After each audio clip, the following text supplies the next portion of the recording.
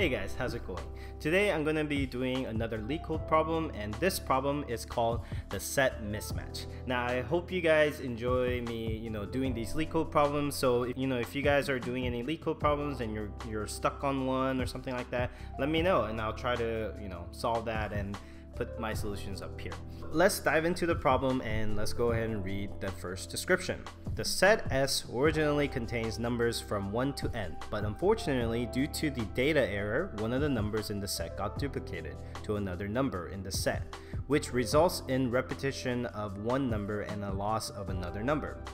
Given an array nums representing the data status of this set after the error, your task is to firstly find a number that occurs twice and then find the number that is missing. Return them in the form of an array. So here's an example. Um, essentially, it looks like the input is nums and there's that duplicate number, the 2, and the output is 2 and 3. So they're saying that 2 is the duplicate number and then the 3 is the missing number. So here's some other interesting things that you need to think about. Anyways, so when I originally saw this problem, my initial thought was to do something like this. You know, nums.sort, you sort the nums and then you just iterate over iterate over the nums essentially, something like that.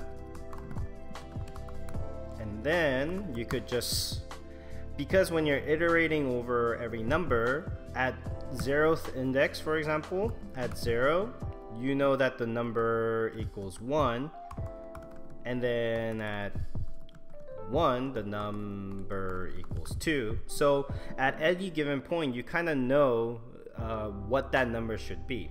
Now this is probably the easiest and like brute force way to, uh, to solve this problem. But the issue is this solution is like n log n right? n log n. So it's not like incredibly fast and i think we could do this problem in uh, time complexity of n. Uh, we might have to use a little bit more space but that's fine so the second approach that I thought was, you know, why don't we separate these two problems and let's first deal with like finding uh, just a duplicate number using some form of a set or like a dictionary. So a little bit of dynamic programming. And then the second part I could do using some kind of mathematical formula um, or we could do something where uh, we could reuse the set essentially create a new set that has all the numbers that it should and then uh, essentially pull them out. Um, so anyways, let's get down to this problem. So the first thing that we need to do here, create a new set. So let's say a new set.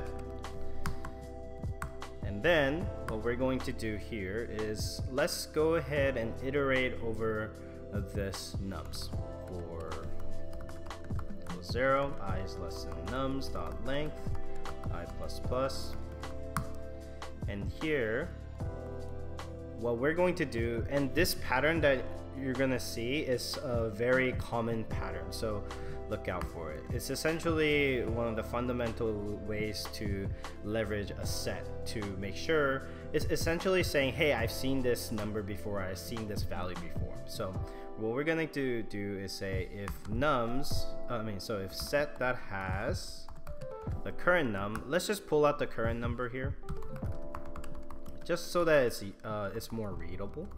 It's not necessary that you really need to do this, but current num. If set dot has the current num, then here what we have to do is um, we have found the duplicate, the dupe. Else we're going to set dot add the current num. Uh, okay, let's also create results and then here we'll just push the number results to current num. Oops, result dot push current num. Alrighty. So this is the first part of the problem, and this is our way of finding the duplicate number. The benefit of doing this is that we don't have to sort the array. By using a set here, uh, what we're doing is for every iteration, every traversal of this for loop, we're taking a look at the current number and we're saying, hey, set, have we seen this number? Right here with this if check. If we haven't seen this number yet, then it's a new number, meaning that it's still a valid number to be added to the set. So we go ahead and add it to the set. And then the next time, if we have we ask this question again and we actually have seen that number already, then we know that we found a duplicate, right? So at that point, we could say we found a dupe and we could just push that result, um, that current number into our results. So that's part one. So here's the second part, right? Now we need to do the part where we say, hey, what number was that? Uh, what was the actual number that it was originally supposed to be? When we use this approach, we can't know that by just the context of the duplicated number. So we kind of have to do like another traversal here and then uh, figure it out. So one benefit is this problem, it, one, one key thing that we need to know is that this problem goes from uh, 1 to n, n being like some number. But the thing is, that means that the numbers will have to go from 1, 2, 3, 4, 5, 6 till n. That means we at any every iteration, we should know what that number is. So essentially we could do a while loop where we start from the number 1 and then we go all the way up to the length of our array because the length of the array should be essentially the same as the number.